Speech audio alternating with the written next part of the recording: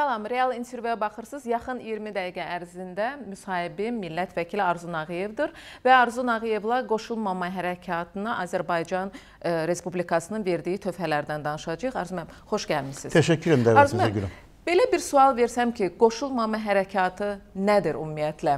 Köhnə sual ə, sayılmaz ki? Xeyr, bilirsiniz, ə, ümumiyyətlə tamaşaçılar üçün də maraqlıdır ki, Dünyanın 120 dövləti, hansı ki heç bir hərbi blokda təmsil olunmayıb, eyni zamanda e, bütün qitələrin nümayəndələri olmaqla 120 e, dövlət e, qoşulmama hərəkatının üzvüdülər. Eyni zamanda onlar bir neçə, daha doğrusu 20-yə yaxın beynəlxalq təşkilatda təsir mexanizmi olan və bəzilərində müşahidəçi qismində, bəzilərində digər qismlərdə iştirak edə bilən dövlətlərdir. Əsas məsələ ondan ibarətdir ki, onlar heç bir hərbi blokun üzvü deyillər və Azərbaycanla bağlı mən onu deyə bilərdim ki, ümumiyyətlə qoşulmama hərəkatının populyarlaşmasında, ümumiyyətlə inkişafında Azərbaycanın verdiyi töhfə danılmazdır və qoşulmama hərəkatı ilə bağlı əsas məqamlar Azərbaycanın məhz orada rəhbərlik etməsindən sonra 2019-2022-ci ildə bilirsiniz ki, sədrlik Azərbaycanındır. Bu ərəfədə ə, qoşulmama hərəkatı daha da inkişaf etdi. Onlar haqqında daha tez-tez biz e, eşitməyə başladıq. Yəni qoşulmama hərəkatı əsasən bu istiqamətdə e, necə deyirlər, öz funksiyasını həyata keçirən bir e, qurumdur. 44 günlük e, zəfər müharibəmizdən sonra, çaldığımız e, qələbədən sonra belə deyək də bütün e, böyük dövlətlərin e, maraqları ancaq bizə qarşı fokuslanıb da. E, təbii ki, Şuşa bəyannaməsi e, olduğu gün bu bir tarixi bir gündür də. Mən bilmək istərdim ki, qoşulmama hərəkatının bax bu bəyannamədə rolu varmı ümumiyyətlə? Varsa da hansı e, bənddədir? Bilirsiniz, e, bu sualı ümumiyyətlə beynəlxalq aləmdə də tez-tez təkrarlayırlar ki, Şuşa bəyannaməsi hansısa hərbi bloka daxil olmaqdırmı? Xeyr.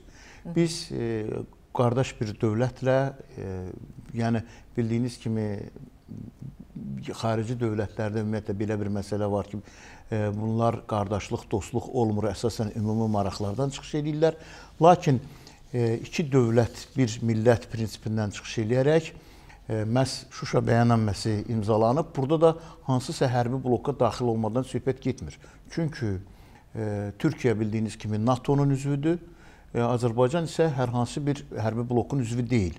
Yəni burada e, iki tərəfli əlaqələr o demək deyil ki, biz hansısa hərbi blokun üzvüyük. Çünki biz e, NATO ilə e, əlaqələrimiz olduğu kimi eyni zamanda digər dövlətlərlə də Rusiya ilə və digər müxtəlif hərbi bloklara daxil olan dövlətlərlə də bizim əlaqələrimiz var. Ona görə də Şuşa bəyannaməsinin məhz e, qoşulmama hərəkatından müqayisə etmək, digər istiqamətdə hansısa fikirlər yürütmək bu düzgün olmazdı. Təbii ki, 44 günlük müharibədə qoşulmama hərəkatı e, bir mənalı şəkildə Azərbaycan ərazi bütövlüyünü dəstəklədi, eyni zamanda haqq səsini dəstəklədi. Hətta ermənilər və onların havadarları tərəfindən Birləşmiş Millətlər Təşkilatının Təhlükəsizlik Şurasına hansısa bir sualın çıxarılmasının qarşısının alınmasında onların da haqq səsi var idi.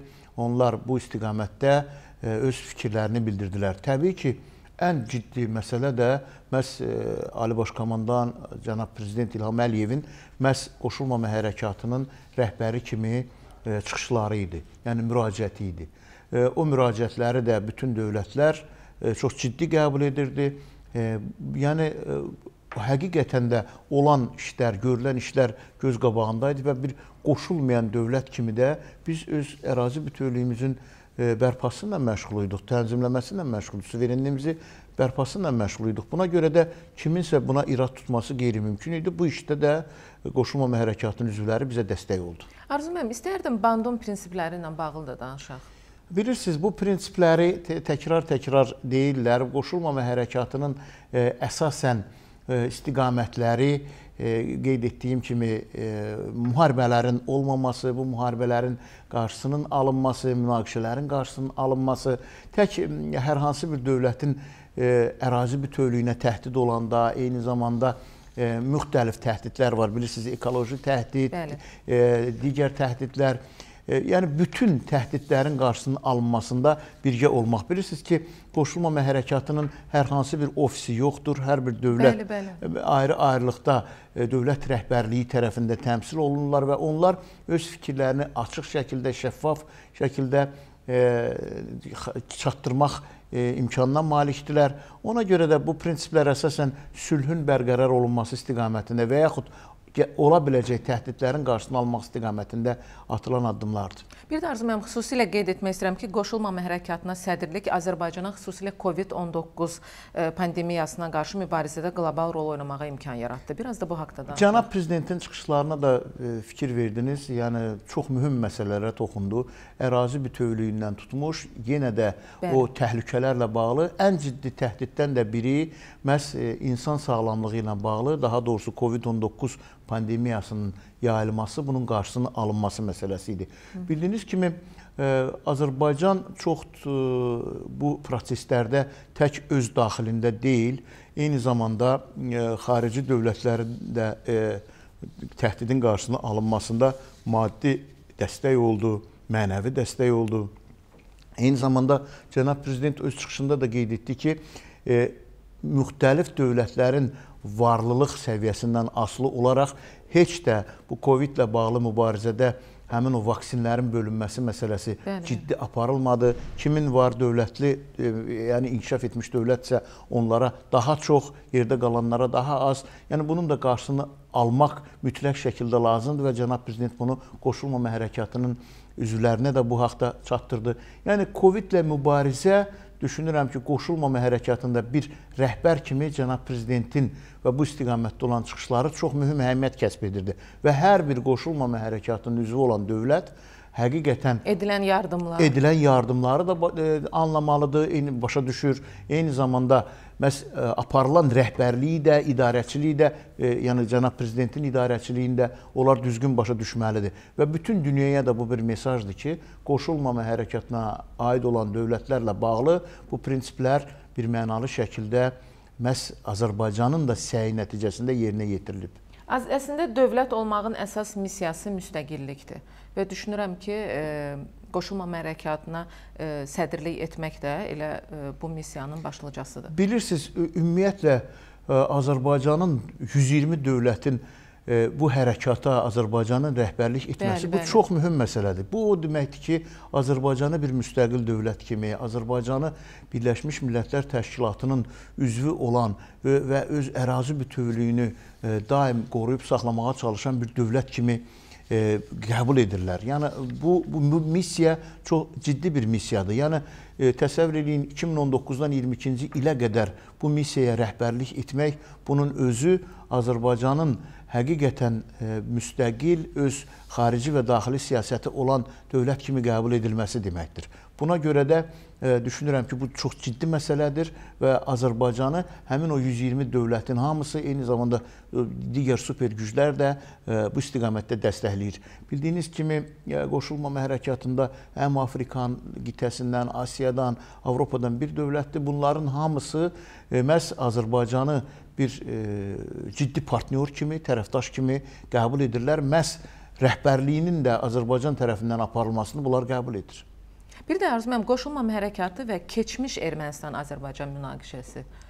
İstərdim bu haqqda da danışım. Bilirsiniz, siz doğrudan elə qeyd etdiniz, keçmiş Azərbaycan münaqişəsi təbii ki, hərbi e, faza geridə qalıb. İndi informasiya müharibəsi, digər istiqamət diplomatik səviyyədə müharibə və e, Ermənistan ciddi cəhdlə e, Azərbaycanın qoşulmama hərəkatının e, məhz liderlik etməsini beynəlxalq səviyyədə müxtəlif müstəvidən ortaya qoymağa çalışırdı. Lakin bütün dünyaya biz e, agah eləyə bildik ki, bizim ümumiyyətlə haqq səsimiz var. Eyni zamanda biz heç bir dövlətin ərazisində iddiamız yoxdur və bunu 120 dövlət bu prinsipləri dəstəklədi.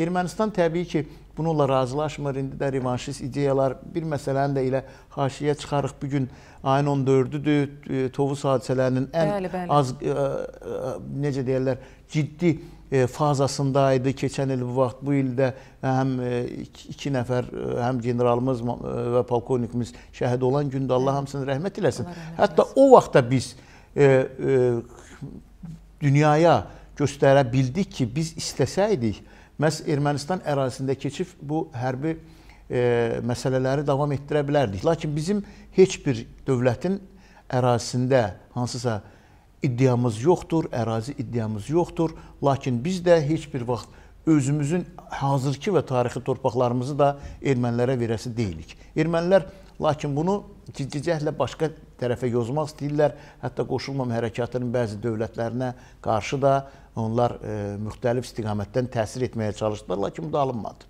Bu 120 ölkə ki, e, bura üzvdür də. E, misal üçün Vətən müharibəsi ərəfəsində bu 122 120 ölkənin içərisində bizim müharibəni e, dəstəkləməyən, yəni bizim azad edilən ərazilərimizin savaşı uğrunda müharibəmizi qəbul etməyənlər var idi? Ümumiyyətlə belə bir məsələ özünü biruza vermədi ki, 120 dövlətdən kimsə açıq-açığına bizi dəstəkləməsin, belə söhbət olmadı. Dəstək nədən gedir? Ərazi bütövlüyü, Bəli. suverenlik Bəli. və Birləşmiş Millətlər Təşkilatı çərçivəsində tanınan ərazilər və o 120 dövlət qoşulmama hərəkatında olan dövlətlərin hamısı Azərbaycanın ərazi bütövlüyünü də dəstəkləyir və ərazi bütövlüyünün hansı yolla bərpa olunmasını dəstəklədi. O ərəfədə 120 dövlətin heç biri hər hansı bir e, digər istiqamətdən nə bəyanat vermədi, nə də çıxışlar etmədi. Təşəkkür edirəm Arzu mənim gəldiyiniz üçün və qeyd etmək istəyirəm ki, biz qoşulmama hərəkatı ilə bağlı danışırdıq. Ümumiyyətlə onların qoşulmama hərəkatının bizim Azərbaycana xeyri nədir? Amma qeyd etmək istəyirəm ki, e, qoşulmama hərəkatına sədrlik etdiyimizdən bu günə kimi Azərbaycanın qoşulmama hərəkatına e, töhfəsi həddindən artıq böyükdür. Bütün bu mövzularla bağlı qonağımız millət vəkili Arzu Nağıyev idi. Sağ olun, real izləməyə davam edin.